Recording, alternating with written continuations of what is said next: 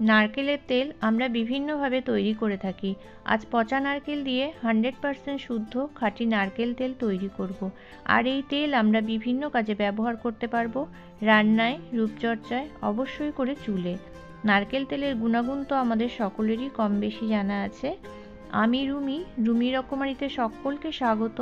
আজ চলে এসছি একটা নতুন ভিডিও নিয়ে নারকেল তেলের রেসিপি তো চলুন দেখে নেওয়া যাক এই শুদ্ধ খাঁটি নারকেল তেল ঘরে আমরা কীভাবে তৈরি করে নিতে পারব।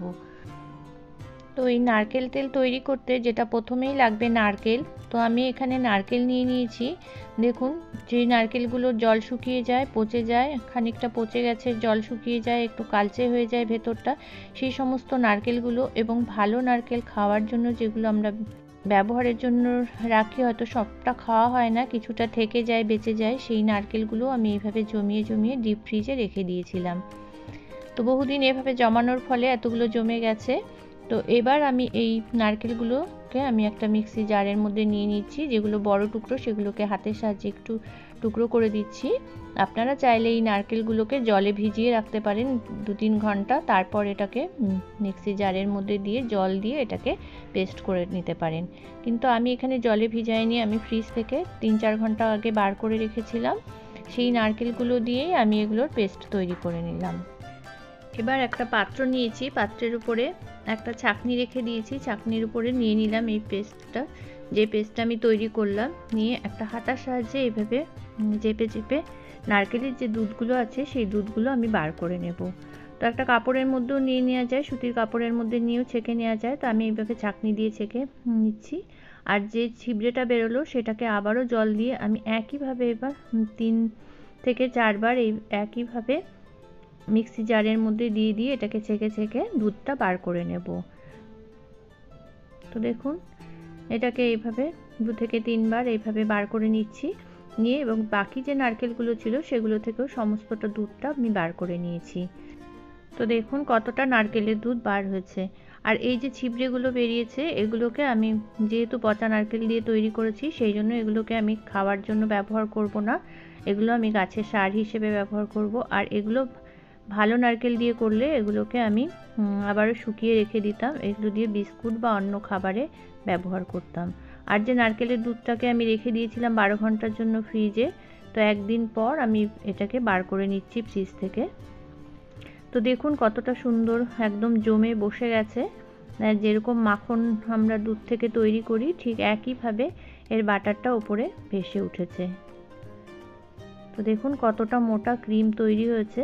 এবার যে পাত্রে আমি এই ক্রিমগুলো জাল দেব, সে পাত্রে আমি নিয়ে নিচ্ছি। তো দেখে বুঝতেই পারছেন কতটা ক্রিম এই নারকেল থেকে তৈরি হয়েছে। আর যে জলটা সম্পূর্ণ আলাদা হয়ে গেছে, ক্রিমটা উপরে ভেসে উঠেছে, তো সমস্ত ক্রিমগুলো আমি একটা পাত্রে নিয়ে নিলাম। আর যে জলটা বেরোলো সেটাও খুব উপকারী। সেটা আমি যেহেতু ফ্রেশ নারকেল দিয়ে করিনি, সেই জন্য আমি রান্নার কাজে ব্যবহার করব না। এটা চুল, ধোয়া বা গাছে দিয়ে দেব।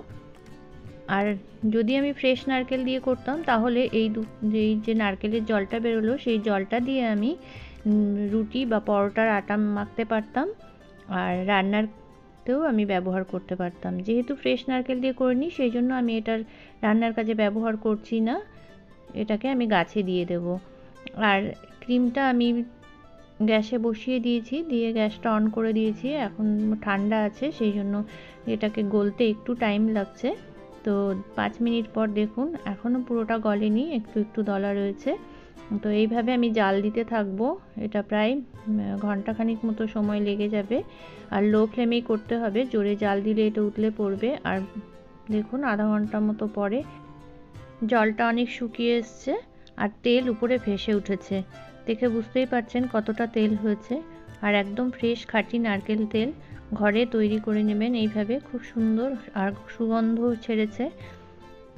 তো দেখে বুঝতেই পারছেন কতটা তেল হয়েছে। তো আমার এই রেসিপিটা আপনাদের কেমন লাগল নারকেল তেলের? যদি ভালো লেগে থাকে তাহলে আমার পাশে থেকে আমায় এগিয়ে নিয়ে যেতে সাহায্য করবেন। তো এইভাবে কম আছে, এটা রান্না করতে হবে এখন।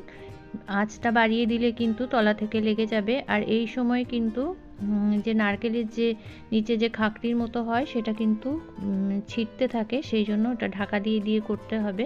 তো তলার থেকে আমি যেহেতু অনেকটা খাকড়ির মতো বেরিয়েছিল, সেই জন্য আমি ছেঁকে নিয়েছি কিছুক্ষণ পর। আর তেলটাকে আলাদা করে নিয়ে আবারও জাল হতে বসিয়েছি। আর এগুলো কিন্তু আমি ফেলে দেব না, এগুলো আমি গায়ে মেখে নেব স্নানের সময়, গায়ে বা মুখে। এর মধ্যেও প্রচুর তেল রয়েছে।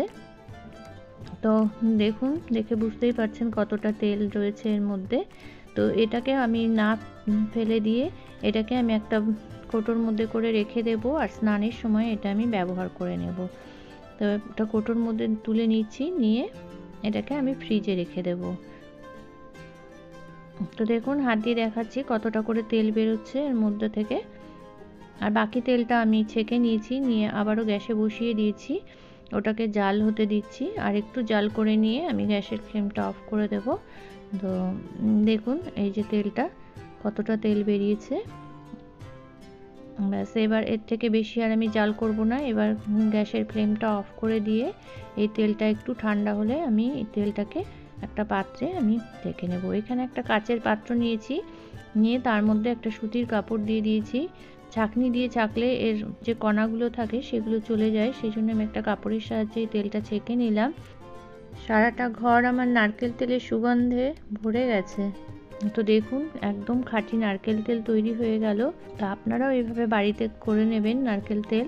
আমার এই নারকেল তেলের রেসিপিটা আপনাদের যদি ভালো লেগে থাকে, তাহলে লাইক, শেয়ার, কমেন্ট ও সাবস্ক্রাইব করার অনুরোধ রইল। এতক্ষণ আমার সাথে থাকার জন্য সকলকে ধন্যবাদ।